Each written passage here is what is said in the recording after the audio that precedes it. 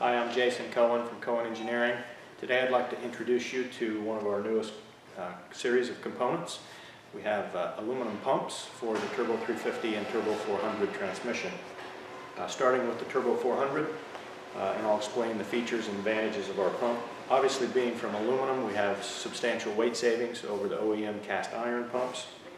Uh, This is a A356 T6 casting that's fully machined, so all of the passageways that you see have been machined and not cast into this. So that way we have uh, good consistency from one part to another. Hard coat anodized for wear protection.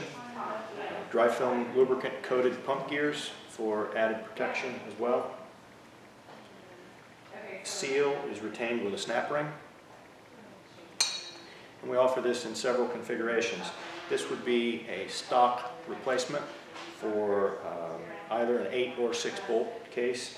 Uh, Has 8 bolts, uh, of course can be used in a 6 bolt case as well.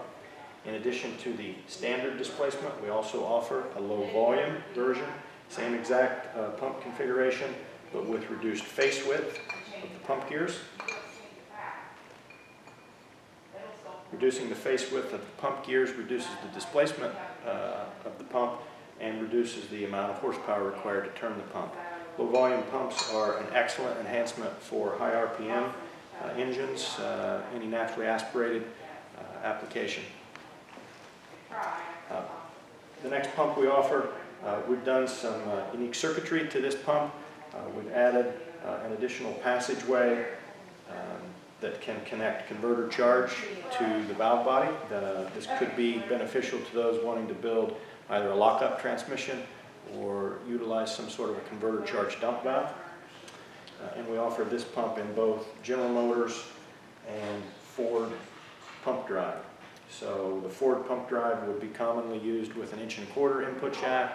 The General Motors pump drive could be used with inch and three sixteenths, inch and an eighth, or inch input shafts. The last pump I'll show you is for the Turbo 350 transmission.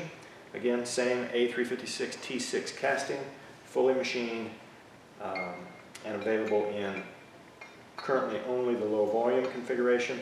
Again, this is a great enhancement for high RPM naturally aspirated engines, uh, typically using the Turbo 350 and stock eliminator, super stock, or comp eliminator applications. So all of these parts are in stock and available for shipment.